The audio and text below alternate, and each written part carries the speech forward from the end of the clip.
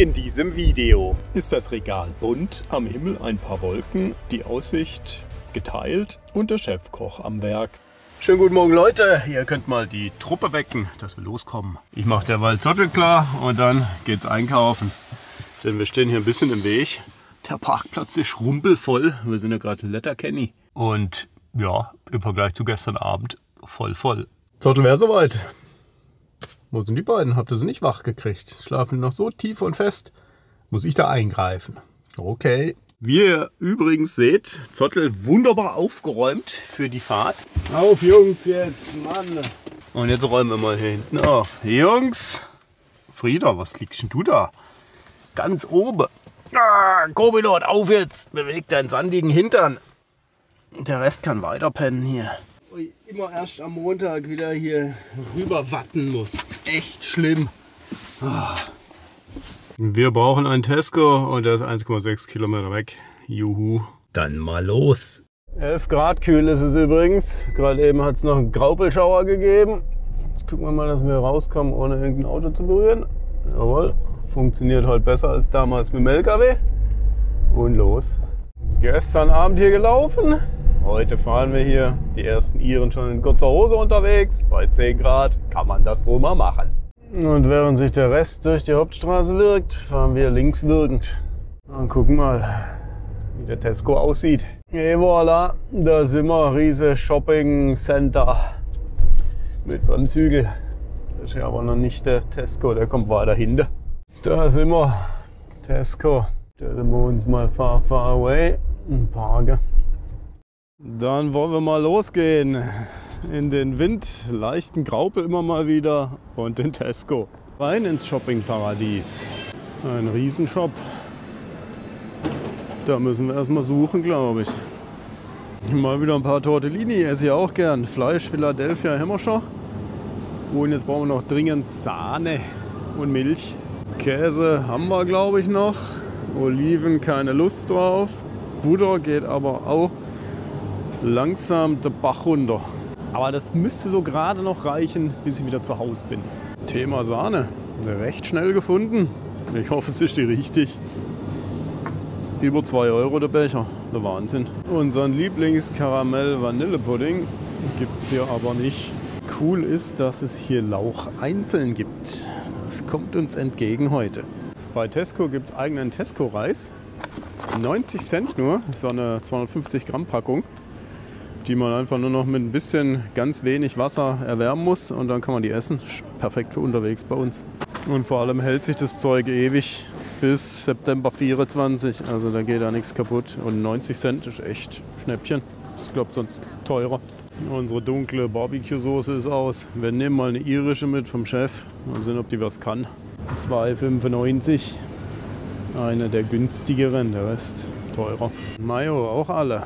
Nehmen mal eine lokale mit, glaube ich, ist das. Gucken, was die können. Davon hat man immer länger noch was. Schon mal spannend dann. Können wir in Albanien irische Mayo essen. Ja, wenn man Zeit hat, kann man sich hier echt ewig drin aufhalten. Das ist der Mördereinkauf. Also nicht von der Menge her, aber von den gelaufenen Kilometern und äh, den Eindrücken. So, und jetzt müssen wir mal dahin, wo der Schnaps steht zum Whisky. Ich muss ja noch was mitbringen für den guten Thomas. Da sind wir auch schon. Schade, habe ich keine Clubcard. Aber hilft schon nichts. Der hier soll mitkommen. Und da man auf einem Bein nicht stehen kann, gehen zwei Bottles mit. Nicht für mich. Für mich vielleicht noch mal zwei Dosen Guinness oder vier Dosen. Wir haben vorerst mal, was wir brauchen und gehen zur Kasse, die hier zufällig gerade ist. Futter verräumt, bevor es jetzt aber weitergeht. Ihr seht's, Porridge ist in der Arbeit. Wie Porridge wohl mit einem Schuss Whisky schmeckt. Gute Sterne für mich, sonst würde ich das jetzt auch nicht probieren. Essen fertig und die guten News sind, unser Free Bears Verpflegungspaket ist bei Megamobil in Österreich angekommen. Wenn wir also wieder zu Hause sind, haben wir wieder den Van voll. Saugeil, Dankeschön. So Leute, voll gefressen, es geht weiter. Der Rest vom Team isst kein Porridge, wenn ich Ja, ihr wisst schon, Three Bears drin ist, ne? Weigern sie sich. Streik. Los geht's. Wir fahren jetzt 80 Kilometer in vermutlich zwei Stunden Richtung Norden an den nördlichsten Punkt Irlands. Und was uns da erwartet, das sehen wir dann, wenn wir vor Ort sind. Und jetzt gucken wir erstmal, dass wir aus dieser wuseligen Stadt wieder rauskommen, unbeschadet, ohne an LKWs hängen zu bleiben oder sonst irgendwie komische Dinge zu tun. Einfach raus, wieder aufs Land. Ein Tag Stadt reicht völlig. Ich widme mich dann mal wieder meinem Hörbuch. Das geht langsam in die spannende Runde. Es sind schon zwei Tote. Also mal sehen, ob da noch mehr dabei kommt.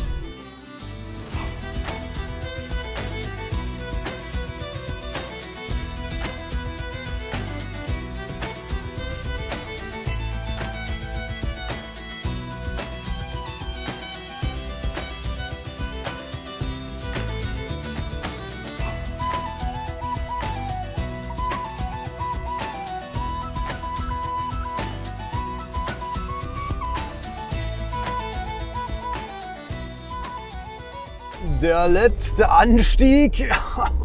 Es geht noch mal heftig den Berg hoch. Hier ans nördlichste Ende von Irland steht ein alter Betonturm. Und wir suchen mal einen Platz, wo wir parken können. Unten war schon einer, aber der war auch voll. Und hier ist auch gut was los. Kreuz und quer stehen sie da schon. Sieht frühlingshaft draußen aber ist es nicht. 10 Grad und kalter Nordwind. Mütze. Da steht der gute Zottel also am nördlichsten Punkt Irlands, den man mit dem Auto erreichen kann. Vor uns noch ein roter Mercedes und dann das Meer. Mehr ist da nicht. Hier endet auch der Wild Atlantic Way für uns. Für andere startet er hier vielleicht, wer weiß, an diesem komischen Start- und Zielturm. Wir haben äh, somit die Ziellinie fast überfahren und sind am Ende angekommen. Und das Ende heißt Mellin Head, Islands most northerly point. Seit über 200 Jahren wird hier schon Ausschau gehalten und Kommunikation getrieben. 1815 haben hier die Briten den Watchtower gebaut. Die Briten haben 1805 sehr viele Watchtower gebaut baut, um sich gegen die Invasion der Franzosen durch Napoleon zu schützen. Später hat dann die Versicherungsfirma Lloyds of London diesen äh, Turm benutzt, um mit Schiffen Kontakt aufzunehmen. 1902 hat Lloyds dann die Marconi Wireless Company angefordert, um eine Funkstation im Turm zu errichten. Das Militär hat dann diesen Turm auch wieder in dem Ersten und Zweiten Weltkrieg genutzt. Von daher stammen auch die Bittor-Bunker. Hier geht es zum Hells Hole, 665 Meter. Das ist auch so ein Springwasserding. Wenn die Wellen da ordentlich reinballern, gibt es da gut Gischt. Heute vermutlich eher nicht. Das Meer eher auf der ruhigen Seite. Ja, und selbst die Titanic hat mit diesem Funkturm 1912 schon Funkverkehr gehabt. Und Haie gibt es hier auch. Und ein Schiffsfriedhof liegt hier auch um. Ozeanliner und deutsche U-Boote. Alles, was sinken kann, ist hier auch schon gesunken. Und da steht er, Merlin Head, Wild Atlantic Way, Ende Gelände. Und wisst ihr, was ich hier noch nicht gesehen habe? Ein Camping-Schild verboten oder ein No-Overnight-Camping-Schild oder whatever-Schild, das irgendwas verbietet. Also Tür und Tor offen, ne? Wenn man hier also voll Richtung Norden guckt, guckt man an Schottland vorbei, an Island so ein bisschen vorbei, an Grönland vorbei und irgendwann kommt der Nordpol. Kein Scherz. Aus der Richtung kommen wir, da stehen die Schäfli auf der Weide. Eine schöne Sandbucht steht noch rum und Felsen im Wasser. Grandios. Und der Parkplatz ist nicht wirklich groß, also mit dem Zottel geht es noch, aber mit längeren Fahrzeugen muss man sich vielleicht ein bisschen überlegen, vor allem in der Hochsaison, ob man hier hinfährt. Diese Steinformation 80 Irland, die gibt es die ganze Küste entlang, war immer mal wieder auf Google Maps zu sehen. Mal besser, mal schlechter erhalten und 80, das ist wohl die letzte. He?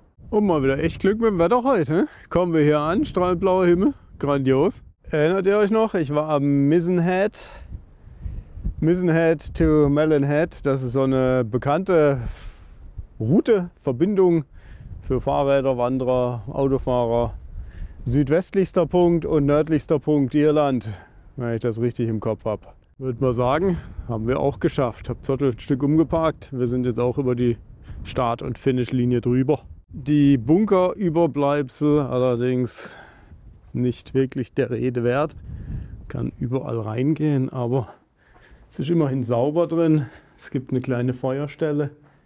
Aber das war es dann auch. Man kann dann auch wieder entspannt durch die Fenster rausgehen, denn da ist nichts. Da hinten steht noch so ein kleines Hütli. In dem sieht es aber genauso aus. Schöner Blick, windgeschützt immerhin. Und eine kleine Feuerstelle hatten sie hier. Man kann hier also noch wunderbar bei schönem Wetter durchs Gelände streunern. Äh, man kommt sogar bis runter ans Wasser irgendwie, glaube ich, also bis an die Steilküste. Schwimmen ist wahrscheinlich jetzt nicht unbedingt zu empfehlen. Ich finde es genial hier und denke immer mehr darüber nach, vielleicht hier eine Nacht nicht mehr weiterfahren, einfach hier bleiben. Zeitlich ist es drin. Wie ihr gut sehen könnt, auch die Jungs genießen den Blick nach draußen. Der eine mehr, der andere weniger. Ja, ich sitze kurz drin, aufwärmen von dem kalten Wind und ich muss kurz mein Funkmikro laden. Ich will gleich noch zu diesem Blowhole laufen. Und dafür brauche ich noch ein bisschen Strom im Mikro, sonst hört ihr nichts mehr. Dann müsst ihr Lippen lesen. Jungs, macht keinen Scheiß. Ich bin gleich zurück ruhig geworden hier an unserem Turm. Keiner mehr da. Stehen hier ziemlich alleine rum. Jetzt auch nicht mehr lang, denn wir gehen zum Hells Hole. Schaffen wir gerade 665 Meter. Schauen wir mal, was es zu entdecken gibt. Hier am Kliffweg. Hoffentlich weht es uns nicht von der Klippe. Pustet nämlich schon ein recht zügiger Nordwind. Heute Nacht wird es kalt. Nur 4 Grad soll es geben. Trumerheizung macht schon seit Tagen wieder einen guten Job, qualmt nicht, macht keinerlei Probleme, sehr cool. Und die DJI Action 3 macht auch weiterhin Spaß. Also gegenüber der GoPro ein Quantensprung besser an Qualität und Freude an der Arbeit damit. Und so läuft man hier teils hart an den Klippen entlang auf einem ordentlich angelegten Weg. Ich habe noch nicht mal Wanderschuhe an, ich habe meine normalen Georgs an. Bisher tun es die. Wichtiger Hinweis, wenn wir hier weiterlaufen, sind wir auf einer Farm. Ja, geil. Wollte immer mal auf einer Farm sein. Hat aber irgendwie keine Farmtiere hier. Schade. Ein paar Schäfli wären noch lustig. Die hätten heute bestimmt auch wieder weniger Locken. Ziemlich raue Felsformen hier die uns vor dem Atlantik schützen und hier seit Jahrtausenden ihren Dienst machen und das Land beschützen. Vermutlich könnte man sogar ja Millionen sagen, aber will jetzt mal nicht so hoch greifen. Und während ich hier über die Jahre schwadroniere, sind wir glaube da. Vermutlich das Geländer zeigt, dass hier das Hellloch ist, ja, wo der Nordatlantik reinströmt und dann drin explodiert. Da geht noch ein Weg entlang am Geländer. So in den gefährlichen Bereich. Kann man ja mal machen, oder? Ist ja kaum Wind. Wird uns schon nicht wegblasen. Und sind ja auch keine Wellen heute. Schade eigentlich. Hier bei dem ordentlichen Weststurm, das muss schon geil sein. Da steppt hier der Ozeanbär. Aber man sieht leider nicht viel. Aber mutige vor. Ein Stück weiter gelaufen hier an der Klippe entlang. Das sieht schon leicht bedrohlich aus. Die Rinne. Krass. Das würde ich ja mal gerne sehen, wie da die Post abgeht, wenn es da reindrückt, das Wasser. Aber bevor hier einer von euch noch stolpert, gehen wir lieber wieder auf den richtigen Weg. Wir wollen ja nicht vom Weg abkommen. Ich laufe mal ein Stück weiter. Ich habe da so ein komisches Gefühl, denn ich glaube, wir haben das Loch noch gar nicht gesehen. Das war nur ein Seitenloch. Das gerade eben war nur ein Seitenloch, denn hier die Küste weiter kommen wir jetzt dahin, wo das echte Loch ist, nämlich hier. Ich halte euch mal ein bisschen über den Fels und den Abgrund. Vielleicht seht ihr ein bisschen mehr als ich von hier. Sieht schon ein bisschen erschreckend aus. Mal sehen, ob wir noch einen besseren Blick kriegen, irgendwie, ohne abzuschmieren. Wäre ja schon ganz nett, ne? Aua, ah, Fuß. Vielleicht doch besser Wanderschuhe. Ah, hier geht's noch auf eine kleine Klippe raus, die hoffentlich hält.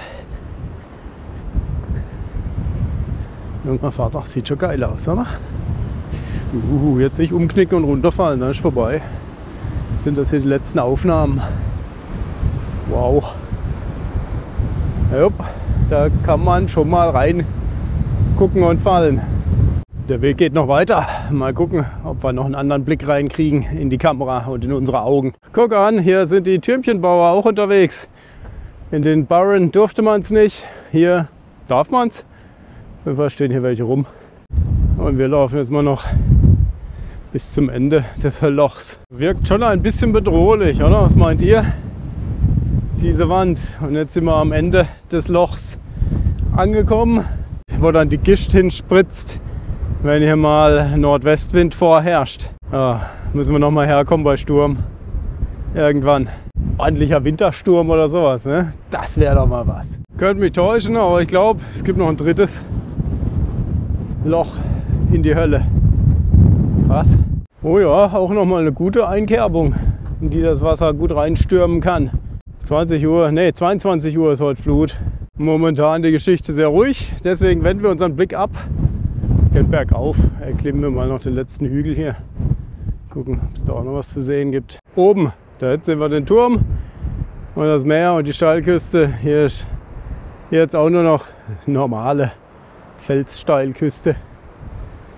Ohne weitere Einschnitte ins Gebirge.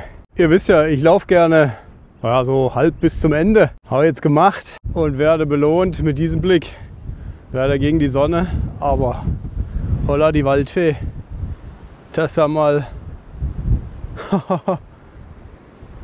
riese Felsen noch im Wasser hier vor dem Halbinseli. Wow. Und ich würde sagen, mit diesem letzten Anblick auf diese schöne Aussicht verlassen wir das Ende diesen Teils und gehen wieder ans Ende von Irland. Das ist ganz da vorne oder da hinten, je nachdem. Oh, aber wir gehen ein Stückchen anders, denn ich will noch bei den WCs vorbei und mir die noch kurz anschauen, wenn das WCs tatsächlich sind. Hier ist nochmal ein Bild vom Hell's Hole. Ich bin jetzt bei den Toiletten und ich glaube, war doch das erste schmale Ding. Okay. Und irgendwas piepst hier, ganz grusig. Ja, so, für den Piepston, der liegt nicht an mir, der ist hier einfach. Und hier gibt es super coole Toiletten, alter Verwalter. Grandios, da können wir noch Biotoy-Urin irgendwann mal wegbringe. Cool. Und halt auch mal Toiletten, die offen sind. Ne? Das gab es ja auch nicht so häufig. Schöner Spot hier und das Team hat entschieden, der Co-Pilot hat gerade geschrieben, sie wollen hier nicht weg. Wir bleiben, wenn uns keiner verscheucht. Ich glaube aber, wir stellen uns noch um. Und hier links vor das Hüsli, da stehen wir gerade und nicht ganz so präsent, wenn die Leute hier hochfahren. Eigentlich wollte ich jetzt gerade noch Drohne fliegen gehen, aber ich glaube, da wird nichts. Sonnenwind. Das kommt nicht gut. Selbst wenn die Drohne dagegen ankommt, wird es ruckelig und die Aufnahmen unbrauchbar oder die Drohne treibt ab. Also vielleicht morgen früh, wenn wir Glück haben. Aber heute wohl nicht mehr. Dafür aber gute Neuigkeiten. Essen! Ich habe einen Plan. Aber jemand muss es machen. Oh, und gerade eben habe ich ein Bild gekriegt über WhatsApp von Mona. Das kann ich euch jetzt nicht sagen oder zeigen. Ihr seht es dann, wenn ich bei denen bin, aber ich mache mir langsam Sorgen, ehrlich. Na, ganz ehrlich, heute habe ich Bock zum Kochen. Hühnchen mariniert. Danach kommt dann noch Sahne und Milch dazu und Knödel habe ich noch.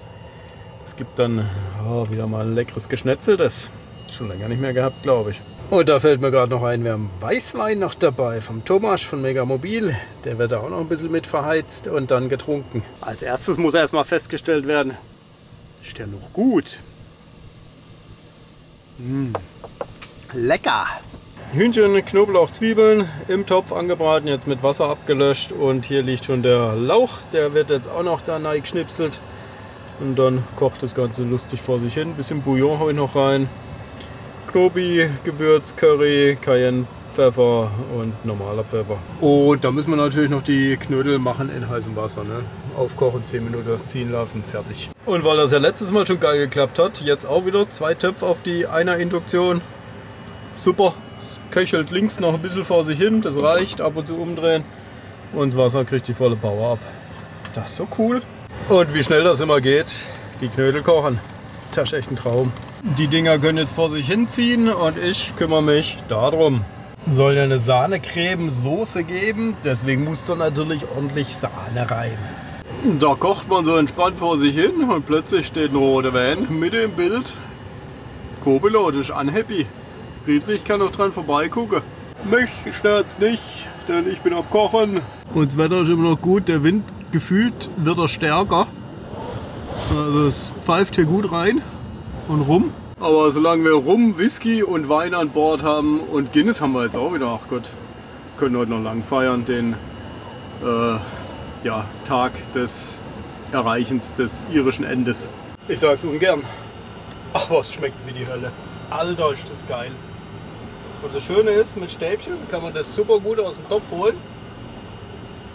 Mmh. Ein Traum. Der Lauch, das Fleisch. Ich glaube, wir können essen. Mmh. Der Wein dazu. So Freunde, das Essen ist angerichtet. Knödel. Mmh. Wow. Ich glaube, das das geilste Essen auf der ganzen Tour. Und das Hühnchenfleisch ist ja auch verdammt gut. Hm. Und die Knödel. Ja, die Knödel sind auch von zu Hause. Die müssen aber auch weg. Zum Glück mögen die anderen Bananen keinen Lauch. Nach dem grandiosen Essen können wir noch mal kurz vor die Tür treten, oder? Und da seht ihr vielleicht, dass der Kobelot, der alte Scherzkeks, uns vorhin noch ein paar Steine unter die Reifen gelegt hat, dass wir gerader stehen. Er ist ja nicht so der Fan von Watte ins Hirn rutschen und so. Gleiches Spiel auf der anderen Seite. Das ist echt lustige. Habe ich vorhin gar nicht so richtig gemerkt. Habe mich nur gewundert, was ist da irgendwie beim Rückwärtsfahren. War komisch kurz, aber dann ging es mit Anlauf. Jo, und hier geht so langsam bald das gelbe Ding da unter. Der Wind weiterhin ordentlich und mehr fällt mir dazu eigentlich nicht ein. Da sind Wolken, die verkacken bestimmt nachher wieder den Sonnenuntergang. Was wir nur aber noch für den Sonnenuntergang brauchen, ist einen halbwegs windgeschützten Ort, denn hier im großen Wind kann ich das Stativ nicht aufstellen. Das ruckelt dann trotzdem so an der Kamera, es gibt kein gescheites Bild. Wir brauchen Windschutz. Hier könnte gehen, der Hausecke. Kommt so immer mal ein bisschen was rum, aber deutlich besser als woanders. Uh, das ist jetzt schon kalt. Kalt wird es erst nachher? Bis Sonnenuntergang ist noch eine Stunde. Da stehen wir wieder vor der Tür im eiskalten Wind. Die Canon läuft, die Sonne weiß nicht so genau, was sie machen will. Ich fürchte, am Horizont ist doch noch einiges an Gewölk mehr, als wir jetzt gerade sehen. Und dass das ein Rohrkapierer wird, ist irgendwie so das Gefühl. Lass mich aber gerne eines Besseren überraschen. Die Sonne geht unter, aber ungefähr 20 cm über dem Horizont, nämlich in eine Wolkenbank rein. Da kommt heute, glaub nicht unbedingt so super gut.